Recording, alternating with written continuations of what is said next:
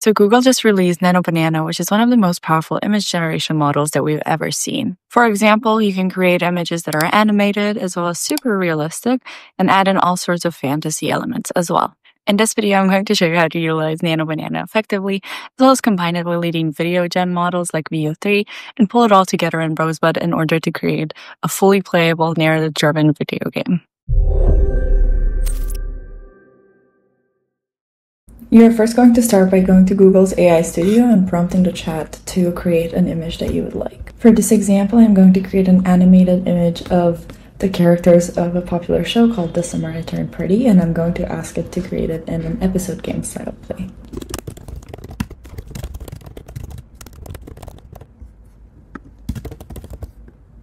I'm also going to upload sample media in order to have the reference photo that I want. However, you can also completely generate from scratch and you'll still get amazing results.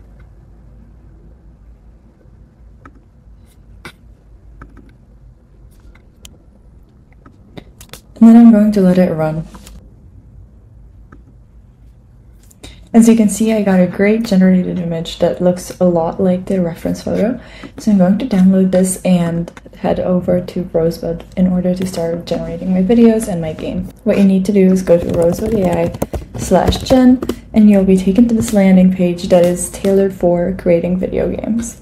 The first thing that you want to do is say your scene. So for example, my first shot will be the couple time together. They laugh and upload a reference image in order to get started from. You don't have to upload a reference image, in which case the model will send you four kinds of different images here that you can start prompting from. But in this case, because I run very specific animation, this is how I'm going to do it. Now, once you select the animation, you wait a few seconds in order to get your first video shot. So once it's generated, you can see that there's two different views here. So this is a view of the current scene that you're generating. And then this is the view of the full game that you will have, including the choices that you can make. Once we have the first shot done, you can start adding in branching narratives here.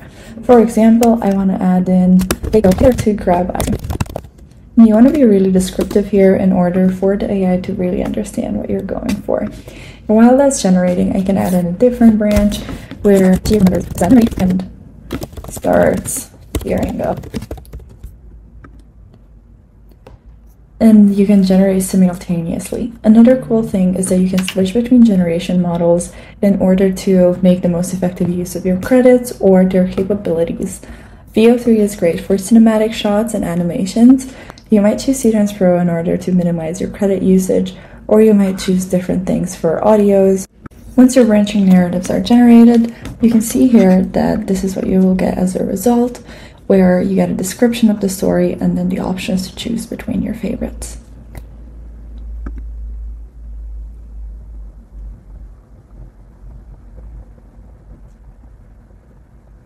If you want to keep prompting from any of the branches, you should go to it and start describing your rounds right away. He is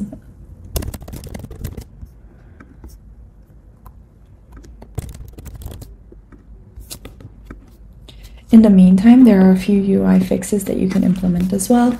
For example, instead of um, having this descriptive text over the buttons, you can go back and edit the titles in order to make this look more user-friendly for your player. So instead of saying she remembers the sad memory and starts tearing up, um, I could write she thinks? The AI wouldn't understand this when you're initially producing the video, however, if your user is actually playing this game and they know the storyline of the movie or the show by which it's inspired, it will be very easily understood what is happening and they will be able to choose the choice that makes most sense to them. After humor edits, you basically have a running game and you can work on changing the code or making sure the narratives match all the time. In order to make changes to the code, you can click this button up here and talk to Rosie AI, which is our designated chatbot that helps you change the code of the game in order to make it more friendly or match your vision more. For example, you can set it up so that you have the choices pop up at a later time in the scene, as well as change kind of the UI of this box. And you can also see all the video assets that we generated in the Assets tab, where you can copy their URL and open them in a new tab if you want to download them or reference them back to the chatbot. Also, you can use our code tab where you can select the tabs that you want to change and you can always click them or unclick them. It's noteworthy that this is where the AI chatbot will, this is what the AI chatbot will be reading when you ask it to change a prompt. So you always want to make sure that the main um, and the story parts are ticked if you want to make sure that the whole video um, platform is, or the whole game is actually getting tweaked. So let's take a look at what this would look like for a hyper-realistic horror game next. For this, I used ChatGPT to generate the script of the game. All I asked ChatGPT to do was to put together a story map for my game and it immediately came up with this interactive scene. You have the initial setup, and then you have the different branching narratives with, for example, a journal that is cursed in some way, and then it also branches out the paths that you can take from each of these. This should make your creation journey much easier if you don't want to take the time to think about all of these things and would rather focus on the aesthetics. So I'm going to start a new project just by the page again for this project, I downloaded a photo of three friends and I asked Nano Banana to put them in front of a lake house. I'm going to take this photo into Rosebud and make the sun set.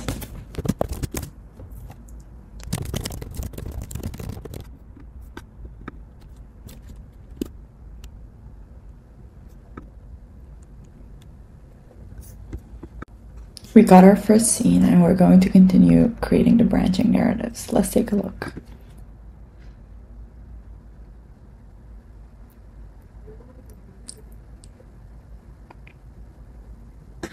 The first choice could be to explore the house inside or stay outside and go stargazing.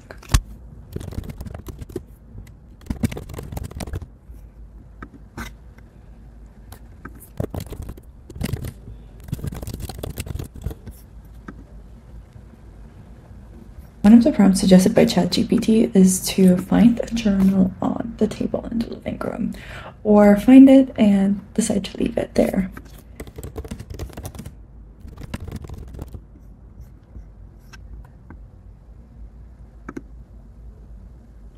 First going to generate a scene where they find a journal on the living room table and then make the choice whether to explore it and read it or whether to leave it there and continue looking around.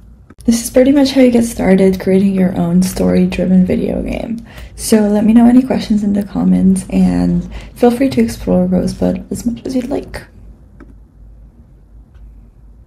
Thank you so much for watching. We put out new AI video tutorials all the time, so make sure to subscribe and leave a comment if you enjoyed this.